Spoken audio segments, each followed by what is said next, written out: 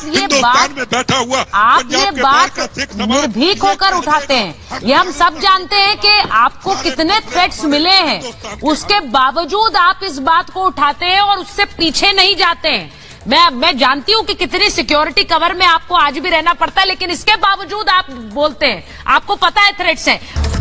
और मेरे साथ आज महाभारत में जो मेहमान जुड़ रहे हैं परिचय आपसे करा दूँ। मेरे साथ all India anti terrorist front के चेयरमैन एम एस बिट्टा साहब जुड़ रहे हैं। स्क्रीन पर आप उन्हें देख सकते हैं।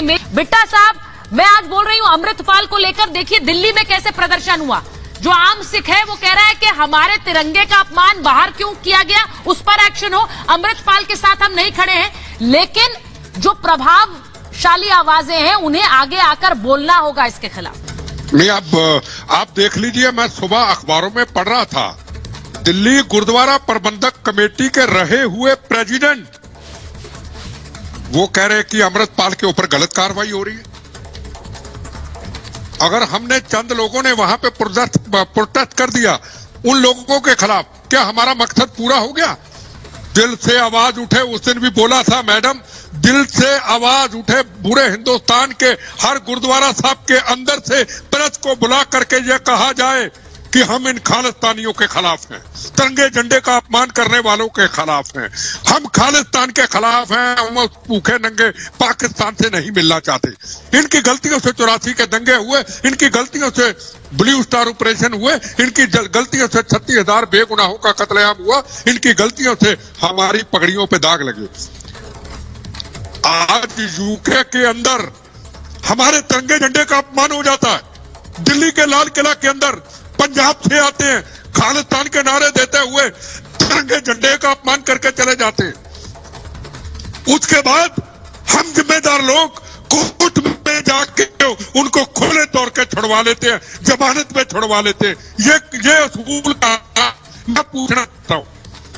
हमारी सिख कौम जुलूमों के लिए सजाई गई, बहनों के सुहागों की रक्षा के लिए सजाई गई। ना कि किसी का कत्लेआम करने के लिए। आज ओबीसी के एक एमएलए ने हैदराबाद के अंदर क्या बयान दिया? सिख कौम के ऊपर क्या बयान दिया उन्होंने? कि सिख कौम ये हमारे कभी बूट पॉलिश करते थे। हाँ सिख कौम बूट पॉलिश करती है हिंदू का मुसलमान का सिख का ईसाई का जो हरमंदर साहब में मत्था टेकने आता है सिर झुका के करती है। पर जिस तरीके से आज ओबीसी के एमएलए ने जवाब दिया हमारी पगड़ी पे दाग नहीं लगा क्या हमारा खून नहीं खोला? किन की गलतियों से? इन लोगों की गलतियों से अमृतपाल जैसे लोगों की गलतियों से। आज ये फौज तैयार करने लगे थे।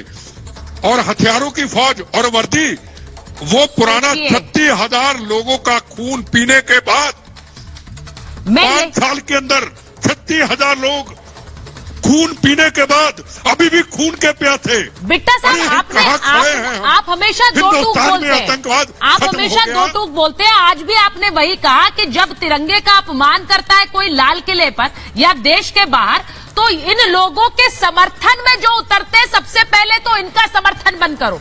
और इनकी आवाजों पर अपनी आवाज़ बुलंद करने की बहुत ज़रूरत है। जो नहीं कर रहा है वो सबसे बड़ा गुनहगार है। ये आपने बिल्कुल टू द पॉइंट बात कही है। बेटा साहब मुझे लगता है कि ये एक ऐसा मामला रहा है जिसमें ब्लेम गेम बहुत होता है। जीडी बख्शी सर को भी लीजिए स्क्रीन पर। इसमें ब्लेम गेम इतना सारा होता है लेकिन आज के समय में ब्लेम गेम की जगह है क्या सर? गृह मंत्री को सीधे धमकी देने। वाला ये शख्स जो कहता था वो हश्र कर देंगे जो इंदिरा गांधी का हुआ। जी। मैं- मैं बताऊँ पहले तो मैं बख्शी साहब की बात क्लियर कर दूँ जो बख्शी साहब की बात कर रहे थे। उन्होंने किसी पार्टी के ऊपर कोई इल्ज़ाम नहीं लगाया जो मैंने सुना। अपने ऊपर मैं बोलूँ या बख्शी साहब बोले? हम किसी राजनीति में नहीं है। Yes. हम सच बोलेंगे हम किसी को गाली देने के लिए नहीं आए। हम पंजाब की अमन शांति की बात करने आए अगर ड्रग्स आ रही है वहाँ पे तो हमने पंजाब को जिम्मेदार नहीं ठहराया। हमने सेंटर को जिम्मेदार नहीं ठहराया। हम बीएसएफ के लोगों के पास रोज जाते हैं रोज मिलते हैं। ड्रोन के ज़रिए आ रहा है ड्रग पर उसके लिए हम सबको एक होना होगा। ना कि ये कहना होगा कि यहाँ है तो गुजरात में क्यों नहीं क्यों ऐसा है? हिंदुस्तान एक है पंजाब गुजरात बिहार सब हम एक बिल्कुल, बिल्कुल दूसरी बात मैं कहना चाहूँगा अरे इतनी हिम्मत हो गई अमृतपाल की क्या कहा था अमित शाह जी ने? इतना कहा था किसी पत्रकार को किसी ने सवाल पूछा हिंदुस्तान के होम मिनिस्टर को कि खालिस्तान के मुद्दे के ऊपर तो हिंदुस्तान का होम मिनिस्टर, चाहे बख्शी साहब हो, चाहे आप हो, कोई भी हिंदुस्तान का व्यक्ति हो, सच्चा भारतीय यही कहेगा, राष्ट्र एक है, एक रहेगा, खालिस्तान ना कभी बना था, ना बनेगा। ये कहने का हक है, और इसकी हिम्मत अमृतपाल की। इसने ये कह दिया, पहले इंदिरा गांधी मारी, अब हम अमित शाह को मार देंगे।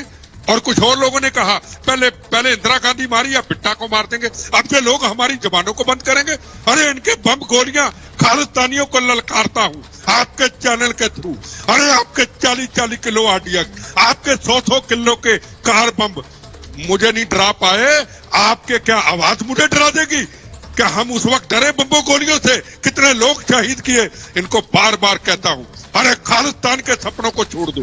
खालिस्तान कभी हिंदुस्तान में नहीं बनेगा नहीं बनेगा। हिंदुस्तान एक है एक रहेगा। पर कनाडा के अंदर अम्बेसियों के बाहर प्रदर्शन तिरंगे झंडे का अपमान। बिल्कुल। ऑस्ट्रेलिया के अंदर मंत्रों का अपमान। यूके के अंदर तिरंगे झंडे का अपमान। फिर वहीं आऊँगा। पूरे हिंदुस्तान के पूरी दुनिया में बैठे हुए सिख समाज जैसे पहले एक बहुत सुंदर कुछ बातें कही। बाहर बैठा हुआ भी भारतीय है। उसकी आवाज़ क्यों ना उठे? आपकी आवाज़ क्यों उठे? उनकी आवाज़ क्यों ना उठे? हर कोने से सिख समाज की आवाज़ क्यों ना उठे? हर गुरुद्वारे से सिख समाज की आवाज़ ना उठे। घर में बंद करके कहना बड़ा आसान है। हम इनके साथ नहीं है, ऐसे हम मानने को लिए तैयार नहीं है। मैं फिर कहूँ मेरी बहन ना कोली की ना फौज की ना पुलिस की ज़रूरत पड़ेगी ना आपके चैनलों की ज़रूरत पड़ेगी। जिस दिन दुनिया में बैठा हुआ तो बिट्टा साहब ये बात- में बैठा हुआ आप ये बात निर्भीक होकर उठाते हैं। ये हम सब जानते हैं कि आपको कितने थ्रेट्स मिले हैं। उसके बावजूद आप इस बात को उठाते हैं और उससे पीछे नहीं जाते हैं। मैं मैं जानती हूँ कि कितनी सिक्योरिटी कवर में आपको आज भी रहना पड़ता है लेकिन इसके बावजूद आप बोलते हैं। आपको पता है थ्रेट्स है। बेटा साहब अगर इस खालिस्तान के नाम पर ये जो मोर्चा बंदी है फोर्स बनाने की तैयारी भारत तोड़ने की तैयारी इस पर अगर नहीं बोलेंगे खालिस्तान पे समर्थन दिखाएँगे तो फिर अमृतपाल ही पैदा होंगे। और फिर उसको कम कर कर आकेंगे। ये दिखाएँगे कि भाई कुछ बड़ा नहीं था। क्या किया मैं उसने? आपको बताऊँ। जी। मैं आपको बताऊँ। मुझे समझ नहीं आती ना तो बख्शी साहब ना बड़े सीनियर और लोग बोल हम तो किसी पार्टी के खिलाफ कोई भी नहीं बोला मैंने तो सुना नहीं ना आप बोले ना मैं बोला। हमें हमें सुनने की एक हिम्मत होनी चाहिए। हम एक होके पाकिस्तान को आईएसआई को बताएँ हम एक हैं भी पंजाब की अमन शांति के लिए। हम राष्ट्र के लिए एक हैं। दूसरी बात बताऊँ क्या मैंने को गोली चलाई? क्या मैंने किसी को गोली से मारा? हमारी आवाज़ ए के फोर्टी सेवन थी उस वक्त। जब गाँव में लोग निकलते नहीं थे, अपने नौजवान दोस्तों के साथ मिलकर के एक ब्रिगेड का गठन किया था, नाम था रेड टर्बन ब्रिगेड। क्या था उसमें? हिंदू, मुस्लिम, सिख ईसाइयों के खून से बना तिरंगा झंडा। चिट्टी निक्कर, चिट्टी जर्सी, चिट्टे बूट, चिट्टी जुराबे और निकलते थे गाँव में। और जो हमारे काफले में जुड़ता था, अगले दिन शहीद कर दिया जाता था, वो किया। जबान को ए के फोर्टी सेवन बनाया। अरे, जबान अरे गोली बम्बनी हमारी बंद कर पाए। इतने तो हमारी जबान को इन आतंकवादियों के खिलाफ बंद हो जाएगी। हम किसी पार्टी के खिलाफ बोल रहे हैं क्या? हम तो सबका सहयोग दे रहे हैं। हम तो कहते हैं अमन शांति हो, पर ये समझना, हम ऐसा क्यों बोले? ना, बम गोलियाँ नहीं बंद पिंडरा वाला नहीं बंद करा पाया। सामने बैठ के हमको चुप करा देंगे। हमने के फोर्टी सेवन नहीं पकड़ी भाई। हमने जवान को ठोका ठोका उसको आज भी ठोकते हैं उनको। ठोकेंगे उसको। क्या हम कहेंगे खालिस्तान नहीं बनने देंगे? ना बनेगा हमारी जबान बंद हो जाएगी। चुप करके बैठे रहो ऐसे। खालिस्तान के नारे लगते रहे और कहें तिरंगे झंडों का अपमान पूरी दुनिया में हमारा होता रहे। हमारी पगड़ी पे दाग लगता रहे। हम ऐसे बैठे रहे। वाह भाई वाह वाह भाई वाह। ये पहली बार मैंने देखा। हम बोलते क्यों हैं? हम बोलिए हमने हरभजन मान जी का नाम लिया। हमने मोदी जी का नाम लिया हमने सच बात कही हमने ये भी कहा ना हरभजन मान चाहता सीआरपीआई ना हिंदुस्तान के होम मिनिस्टर चाहते पंजाब में सीआरपीआई ना हिंदुस्तान के प्रधानमंत्री चाहते पंजाब की अमन शांति खराब हो। हम Yes. सब मिल करके चाहते हैं अमन शांति ठीक हो। पर हमें डिस्कशन के वक्त बर्दाश्त का मादा रखना चाहिए हर बात पे टोकना ये अच्छी बात नहीं। हमें बताइए आपके सामने बताइए मेरी बहन बैठी है। हमने बख्शी जी ने किसी ने किसी के जो सच था वो बोला मत ऐसा मत गलत काम कीजिए किसी को गुस्सा मत दिलाइए। हम आपके साथ हैं हम अमन शांति के पुजारी हैं। मैं- हम फिर खुद अपना खून देने के लिए तैयार हैं। हम गंदी राजनीति नहीं करते पर तिरंगे झंडे का अपमान जब यूके के अंदर होता है। जब दिल्ली के 26 जनवरी में होता है जब ऑस्ट्रेलिया के कनाडा में हमारे तिरंगे झंडे को रोला जाता है कश्मीर में भी तिरंगे झंडे का लॉबी है। ये अचानक खड़ी हो जाती है। यहाँ पर अमृतपाल पर क्रैकडाउन हो रहा है। वहाँ पर यूके में हाई कमीशन के बाहर ये समर्थक कहाँ से आ गए? ये वो समर्थक जो खालिस्तान के झंडे लेकर आ गए कहाँ से आ गए? वहाँ पर कनाडा में कैसे जो नेता है वो अचानक सोशल मीडिया पर एक्टिव हो गए कि देखिए पंजाब में क्या हो रहा है? क्या हो रहा है पंजाब में?